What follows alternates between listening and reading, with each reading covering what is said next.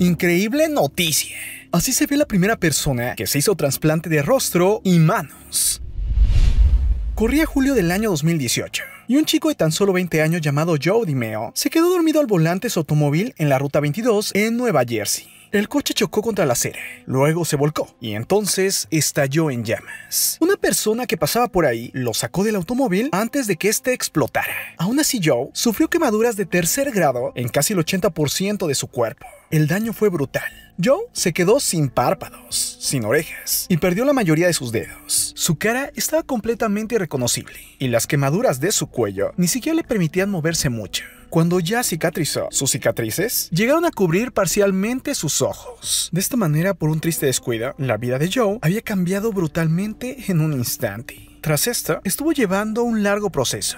Y aunque sí había mejorías, realmente los médicos le comentaron que había una forma en la cual podía recuperar parte de su vida. Esta era un trasplante de rostro y manos. Ya en el pasado se habían hecho trasplantes de rostro exitosos y también se habían logrado trasplantes de manos, pero nunca en la historia al mismo tiempo se había hecho un trasplante de rostro y manos.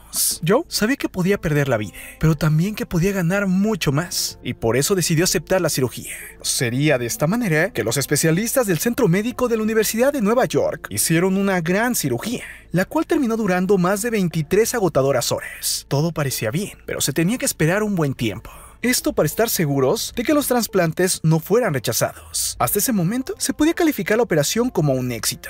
El doctor Eduardo Rodríguez, jefe del equipo que completó la cirugía sin precedentes, dijo a periodistas en una conferencia de prensa, es el paciente más motivado que he conocido.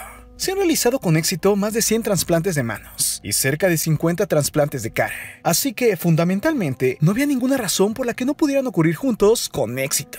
Pero aunque sus palabras sonaban muy bien, antes del caso de Joe, ya se habían hecho dos intentos previos de completar una cirugía de este tipo, trasplantar la cara y ambas manos de un paciente a otro, pero ninguna había tenido éxito. Y es que obviamente este tipo de operaciones es de alto riesgo. Los doctores necesitan evitar la infección. Necesitan que también la operación ocurra lo más rápido posible. Tienen que seleccionar bastante bien al donante y ver qué tecnología van a ocupar para que toda la operación salga bien. Aún así, había una gran ventaja con Joe, ya que estaba sano, joven, fuerte, le encanta hacer ejercicio, come bastante sano y además tenía un alto nivel de motivación y estaba lleno de esperanza. En la cirugía participaron 80 personas en 6 equipos quirúrgicos y 2 quirófanos contiguos. En uno de ellos estaban las manos y el tejido facial de un donante moribundo. Eso sí, antes de empezar la cirugía, guardaron un tiempo de silencio para honrar a esa persona que estaba donando su cuerpo. Y también honrar a la familia del donante, ya que gracias a ellos todo esto era posible. Y es que según explican los doctores, en todo este tipo de operaciones es importante siempre recordar que alguien debe entregar su vida para que otros puedan seguir viviendo. Ahora bien, en el otro quirófano estaban las propias manos y la cara de Joe, las cuales fueron removidas con cortes precisos, para así prepararlo para el tejido del donante. Todo debía ser exacto, cuidando cualquier detalle, ya que cualquier error podía acabar con la vida de Joe. Se puso primero la mano derecha, ya que es la mano dominante de Joe, luego la izquierda, y después el rostro. Obviamente había que conectarlo absolutamente todo. Es así que después de 23 horas de haber empezado la cirugía, por fin esta llegó a su fin. Eso fue el estado crítico. Y después empezó el proceso de revisión. Joe pasó 45 días en cuidados intensivos, después dos meses de rehabilitación, y fue en ese tiempo que Joe aprendió a abrir sus nuevos párpados, a mover sus nuevas manos e incluso a sonreír. Es así que ahora que ya pasaron meses, los doctores pueden estar satisfechos. La operación fue todo un éxito. Joe comentó que quiere compartir su historia para dar esperanza a la gente en el mundo.